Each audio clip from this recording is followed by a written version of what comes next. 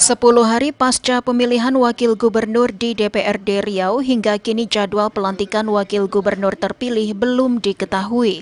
Bahkan SK penetapan Wan Tamrin Hasim juga belum bisa dipastikan apakah sudah ditandatangani presiden atau belum. Wakil Ketua DPRD Riau Manahara Manurung Jumat siang menegaskan jika DPRD Riau telah mengajukan usulan penetapan dan pelantikan kepada presiden melalui kementerian satu hari pasca pemilihan pemilihan. Selanjutnya DPRD Riau tinggal menunggu hingga Presiden mengeluarkan SK penetapan. Oh, saya kira kita sudah eh, apa setelah paripurna kemarin, paripurna istimewa, terpilih Wan Tamrin Hamsin jadi wagub. Hari itu juga kita surati Presiden melalui gubernur, gubernur menyampaikan ke sana.